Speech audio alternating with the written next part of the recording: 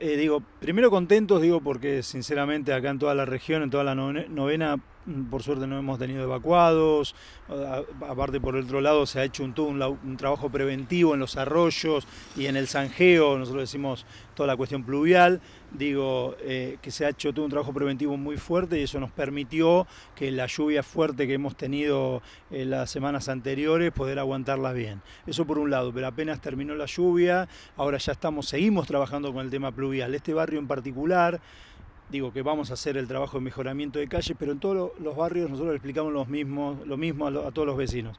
Primero se tiene que hacer en el barrio, la primera intervención que hacemos es el tema pluvial. Nosotros necesitamos sacar el agua del barrio. Una vez que logramos todo el tema pluvial, si ustedes ven esta calle de aquí, no tiene zanjas. Nosotros lo vamos a zanjear toda a, esta calle para poner un solo un ejemplo, ¿no? ¿Para qué? Para que poder sacar el agua del barrio. En este caso, el, el agua de este barrio va a la autopista. Entonces tenemos que sacarla hacia la autopista. Una vez que terminamos esa parte del trabajo, ahí sí nos metemos con el tema del mejoramiento de calles. Decía, en lo que fue la zona novena, las inundaciones por suerte, se trabajó hace mucho tiempo ahí, ¿no? Se viene trabajando en lo que son arroyos fuertemente.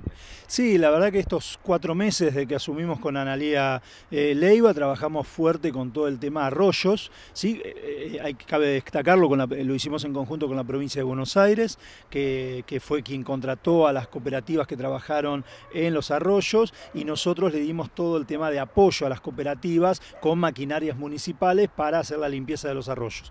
Aparte de limpiar los arroyos, hemos hecho un trabajo fuerte en los barrios, por ejemplo Salas, para poner un ejemplo, eh, o Pinazo, que hicimos todo un trabajo fuerte de zanjeo y mejoramiento de calles. Eso permitió que el agua escurra bien hacia los arroyos. Al no tener los arroyos obviamente tapados y tenerlos limpios en condiciones, pudo salir el agua rápidamente. Analia, ¿cuál es el reclamo de los vecinos? Recién escuchábamos, hablaban con algunos de ellos, en donde tratan de, hablar con ustedes de sus problemáticas. Sí, por supuesto. Eh, bueno, el requerimiento de los vecinos y justamente el vecino que se acercó nos preguntaba sobre la, mejora de la calle. Eh, nosotros ahí le, explicamos de que es necesario primero el trabajo hidráulico justamente por esto, porque nosotros eh, vamos trabajando muy a conciencia y esto implica que después cuando vienen las lluvias el resultado se vea. Eso fue lo que, como contaba Fabián, venimos haciendo en otros barrios donde son más vulnerables y desde siempre, o sea, históricamente hemos tenido gente que se inundaba, eh, tuvimos que evacuar gente. En esta, en esta última lluvia, que en otras zonas sí ocurrió, a nosotros no nos pasó, afortunadamente, gracias a todo ese trabajo que venimos haciendo, la limpieza de los arroyos, el zanjeo y, todas las mejoras que venimos haciendo. Acá lo que pudimos... Eh, después de esta lluvia y, reincorporándonos al trabajo que venimos haciendo, estamos con una planificación de Sanjeo, porque esto lo venimos trabajando.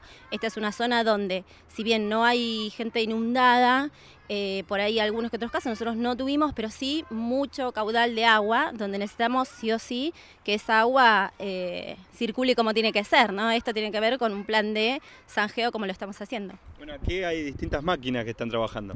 Sí, estamos trabajando con la retro, con la vodka y después el trabajo de las cuadrillas y los, jefes de cuadrilla, realmente gente que sabe mucho, eh, que, que, conoce mucho, porque ha hecho todo un análisis sobre el tema pluvial. Nosotros la primera parte que del trabajo nuestro cuando asumimos en enero fue analizar un poco la situación pluvial que teníamos en la región, acá en la novena.